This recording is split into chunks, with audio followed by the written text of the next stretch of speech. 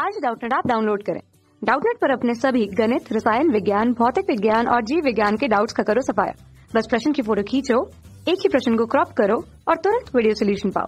अभी डाउनलोड करें। Hello everyone, चित्र में दर्शाए अनुसार बिंदु स्रोत एस द्वारा अपसरित प्रकाश पुंज कांच की पट्टिका पर आपतित होता है। स्रोत का विचलन कोण अल्फ़ा है? यदि दो चरम किरणों के आपतन कोण तुल्य है तथा कांच की पट्टिका की मोटाई चित्र में दिया हुआ है टी तथा अपवर्तनांक एन है तो निर्गत पुंज का विचलन कोण होगा। तो ये आपका प्रकाश स्रोत ऐसा है, बिंदु स्रोत। यहाँ से जो दो अंतिम किरणें निकली हैं, एक इस तरफ़ और एक इस तरफ़, इनके बीच का कोण ये आपका अल्फ़ा है। ये दोनों किरणें कांच की सतह पर आई आपतन कोण के साथ में, आपतित हो रहे हैं, बराबर कोण के साथ में।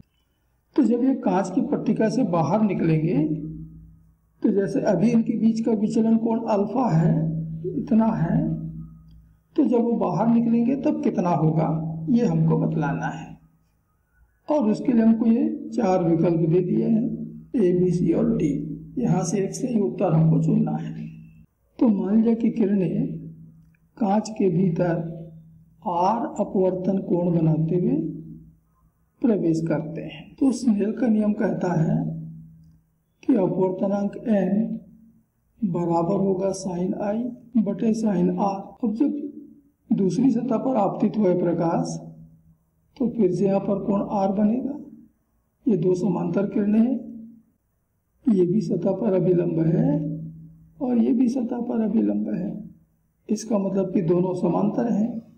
और ये तीसरी रेखा यानी अपवर्तित किरण इनको काट रही है तो एकांतर कोण तो बराबर होंगे।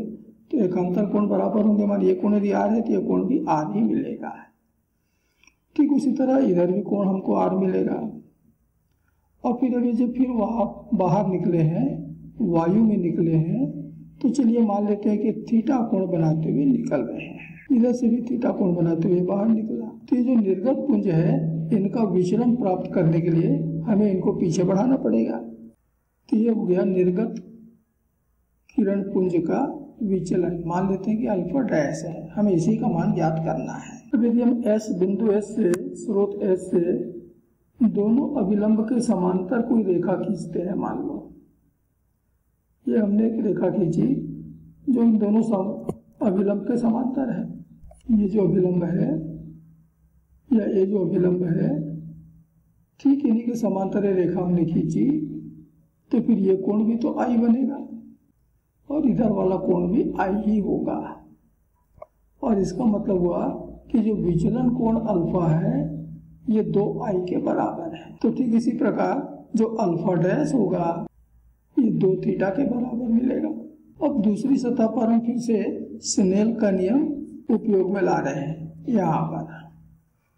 तो यहाँ पर जब स्नेल का उपयोग में लाओगे तो आपतन का कोण थीटा, अपवर्तन का कोण आर तो एन बराबर यहाँ से मिलेगा साइन थीटा बटे साइन आर स्नेल का नियम कहता है। तो समीकरण एक और समीकरण चार, इन दोनों की तुलना करो। तो एन महापक्ष में दोनों की जगह एन है, यहाँ साइन छूट साइन आर साइन थीटा बटे साइन आर बराबर एन होगा। तो बाया पक्ष दोनों के बराबर है तो दाया पक्ष भी बराबर होंगे। इसका मतलब हुआ कि साइन थीटा बटे साइन आर बराबर हुआ साइन आई बटे साइन आर तो साइन आर तो दोनों तरफ़ से कट गए तो साइन थीटा बराबर मिला साइन आई के और इसलिए थीटा बराबर मिलेगा आई के तो मैं समीकरण तीन में थीटा की जगह आई रख सकता हूँ। तो अल्फ़ा डैश बराबर मिल रहा है दो थीटा अब थीटा की जगह मैंने आई रख दिया क्योंकि थीटा आई बराबर है और दो आई बराबर तो अल्फ़ा होता है।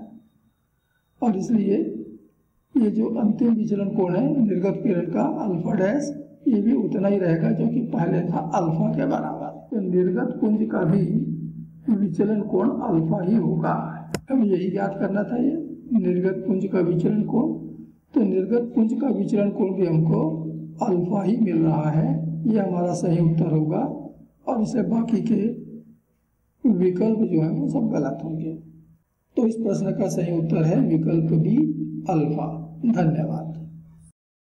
कक्षा छठी से बारहवीं से लेकर NEET I I T JEE वो एडवांस के लेवल तक। एक करोड़ से ज़्यादा छात्रों का भरोसा। आज ही डाउनलोड करें डाउट नेट ऐप या व्हाट्सएप करें अपने सारे डाउट्स आठ चार सौ चार सौ चार सौ पर।